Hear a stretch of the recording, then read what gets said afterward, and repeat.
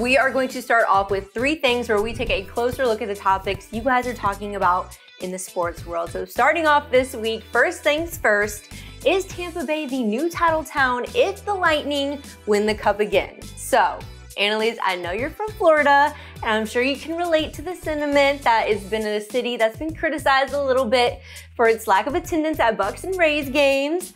But, however, the Bucs' first season with Tom Brady brings them a championship. The Rays advanced to the World Series in 2020 with little to no fan base or money.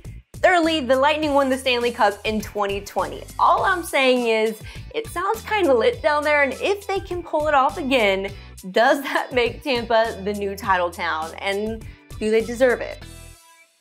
Listen, this might be a coincidence, but before I moved back here to Florida, I was in DC for almost two years, and that was considered title town for a hot minute because okay. of the Caps, the Nats, and the Mystics. Now I moved back to Florida, and the titles just follow. The Bucs, champs. The Rays, climbing the charts of the AL East. The Bolts, champs and they're well on their way to a back-to-back Stanley Cup situation. Call me crazy, but the answer is yes. Tampa, aka Champa, is the newest title town. Now, do we deserve it? To be determined, but we are the title town. And speaking of champs, that brings us to our thing number two. Miss Serena Williams setback shocked the sports world. So it's of course always sad to see an athlete go down, especially someone so accomplished as Serena Williams, seeing her hurt. Um, it was her 20th Wimbledon. It ended as soon as it began with 34 minutes in because of a right hamstring injury. What hurts me the most is just how hard she tried to get her 24th Grand Slam single title, especially after having her daughter. When you see this happen, you never like it like that. But for, for me, this one really hurt. Did, Mackenzie. When Serena fell, like a little piece of me did too. And I started thinking, is this the last time we're gonna see her in the Wimbledon? And then you see other athletes also slipping on the court because of the wet grass. So everything was just disheartening.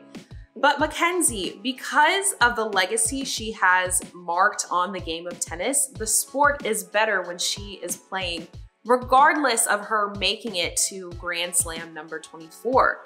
And she's still chasing that. And she's an inspiration to athletes all over the world, men and women.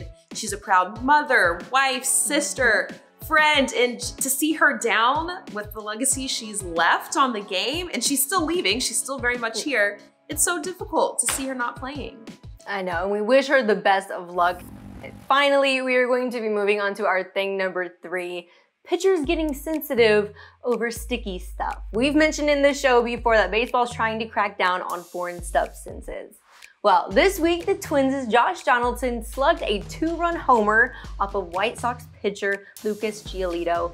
And then this is what makes it uh, makes it a thing. Once Donaldson crossed home plate, did this a little bit, rubbed his hands together, and said, not sticky anymore. So as you can imagine, that didn't go over well, and here's what Giolito had to say about it. He's a pest.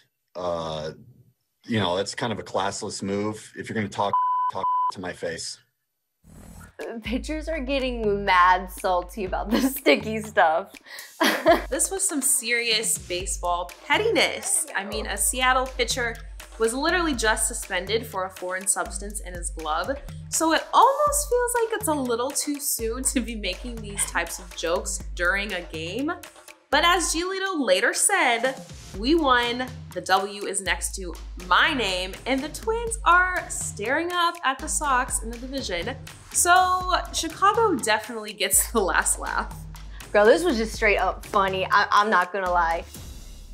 Hey sports fans, if you want to watch more sports seriously, be sure to check out these clips right here. And make sure you're subscribed to the channel to see all the great content from us here at USA Today Sports.